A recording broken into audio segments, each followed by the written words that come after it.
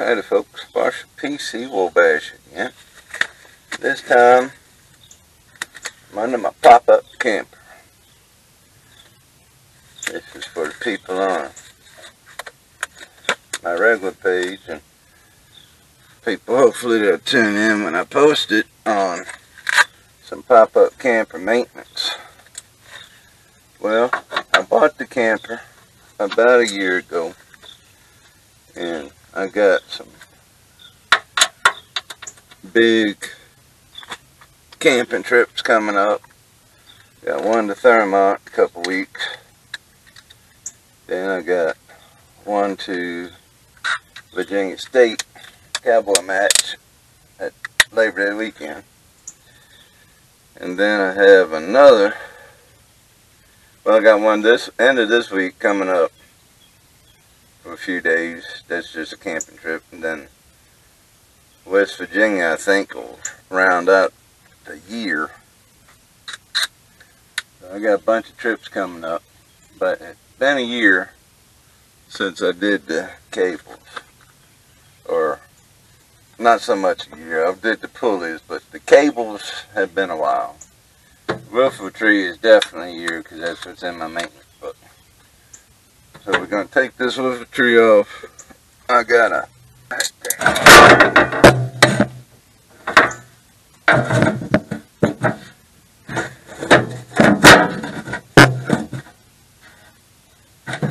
that plate goes all the way to the end.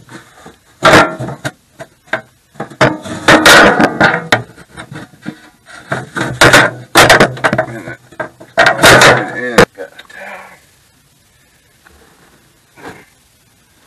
do not go past inside of this to back here and get on the motor.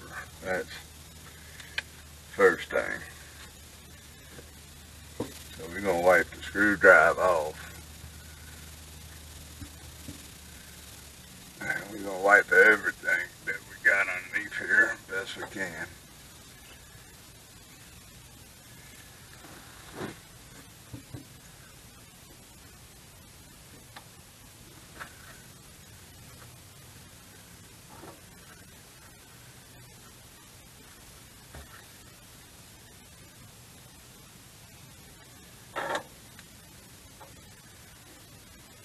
Alright,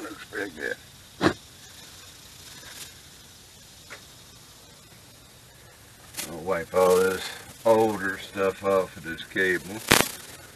That's the cable to the right rear right there. No, left rear. Then I'm gonna wipe this one off. This one goes to the right rear.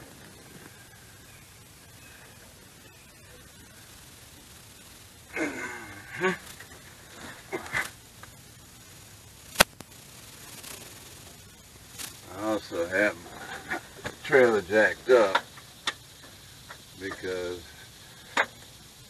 I'm going to check the adjustment on this brakes. Might be off by one click. But we'll get to that in a minute because that's a little bit different.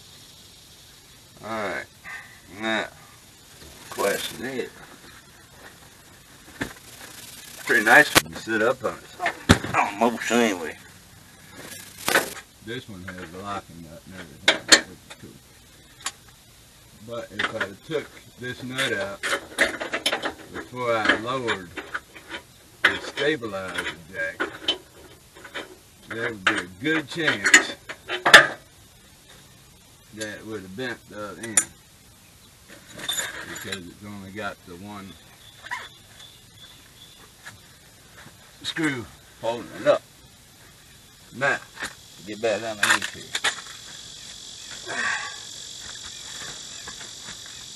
I have my Thermacell going on the other end. Keep bugs out. But that appears to have given me Because there is a gap right there. That appears to give me just what I need to get this tree cover off and out so I can clean it. Right. Yes, sir. It is out.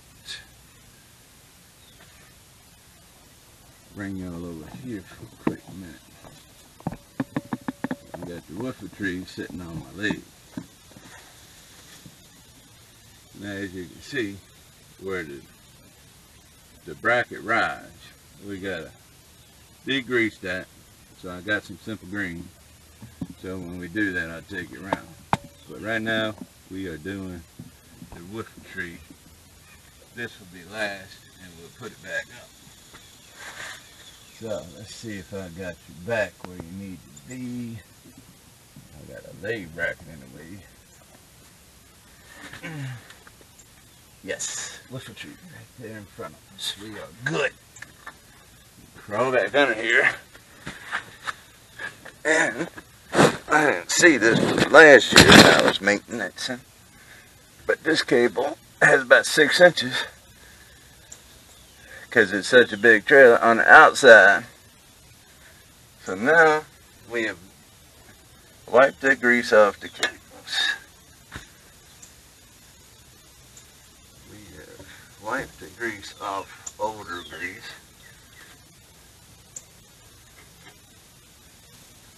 off of the inside here. It's a little dirty.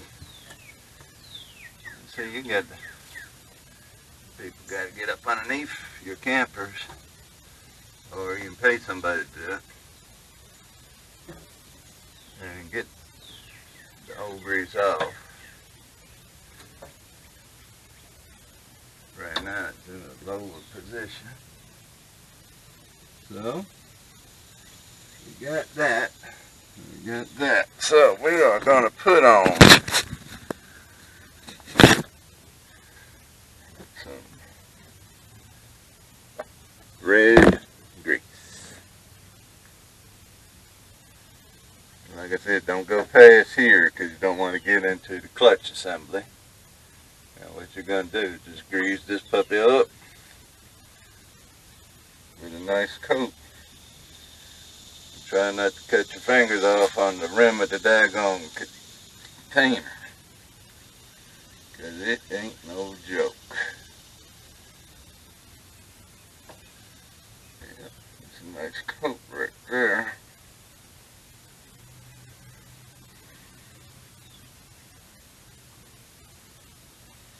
And this helps prevent rust and all the nastiness that comes along with rust.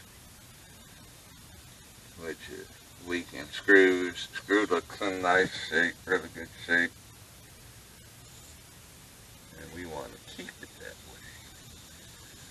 way. Alright. So. Now we're going to grease the bottom of the bracket here. Because that what ride that is what rides on the whiffle tree cover. Because if it didn't have the cover, this whole thing would turn, dig into your floor here, and it would just make more problems.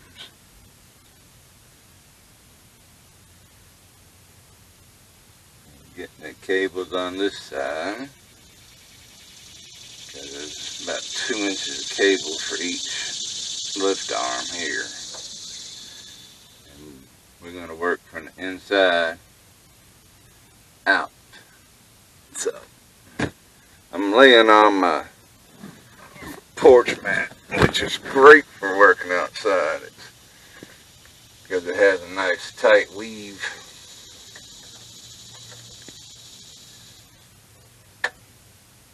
So hopefully no other than maybe an or two. But hopefully it keeps the majority of ticks off. laying outside in my yard. Don't have a garage. Now we're to put a nice coat on these cables.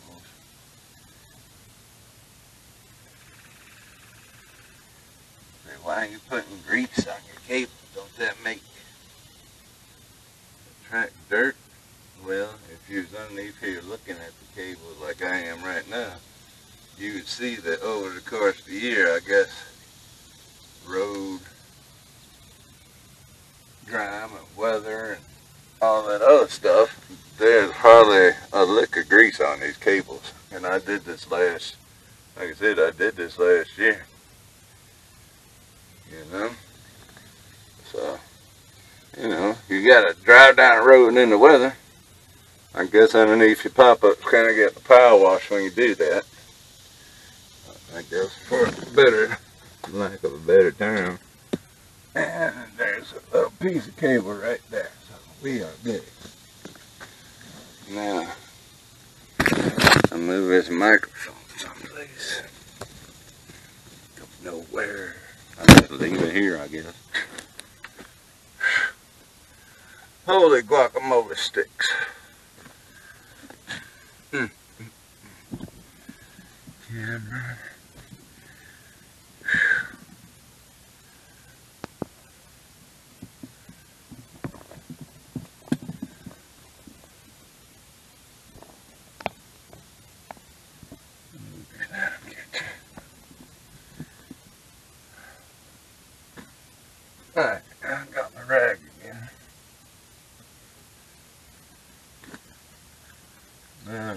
Towards the front.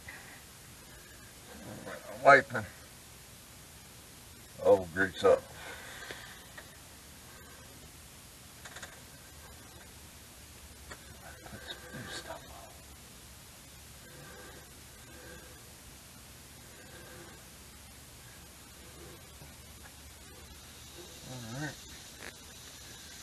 Got that. Back to grease.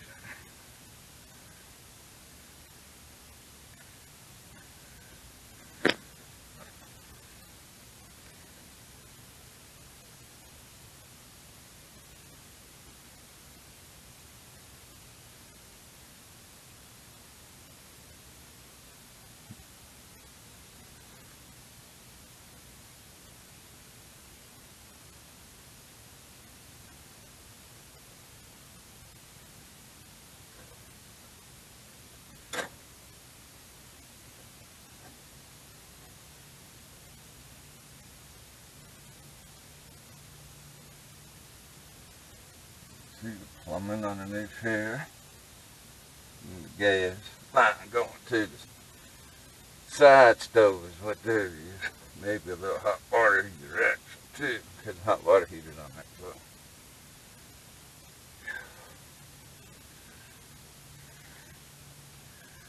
Alright, where's the other? Right there. Cable right there.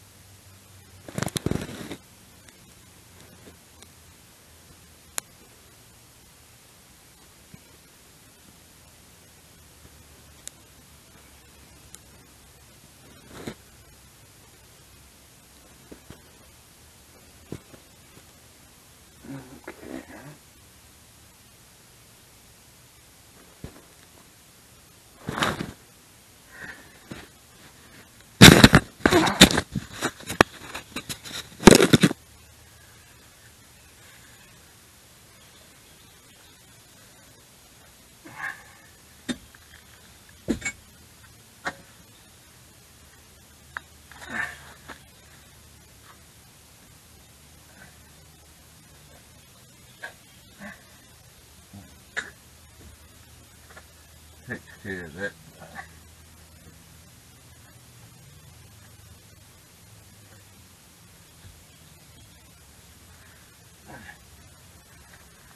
Now I'm gonna spray some.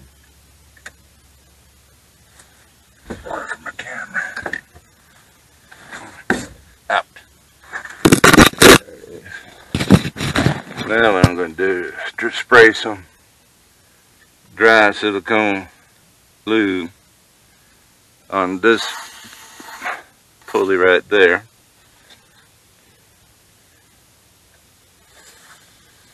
And up in this hole right there for that.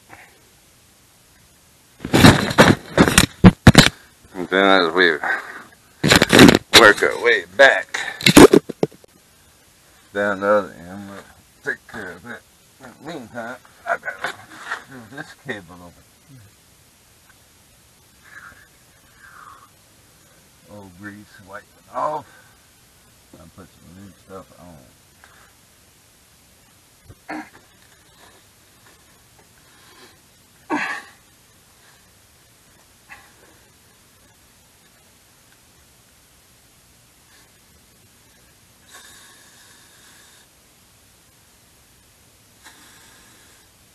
Alright.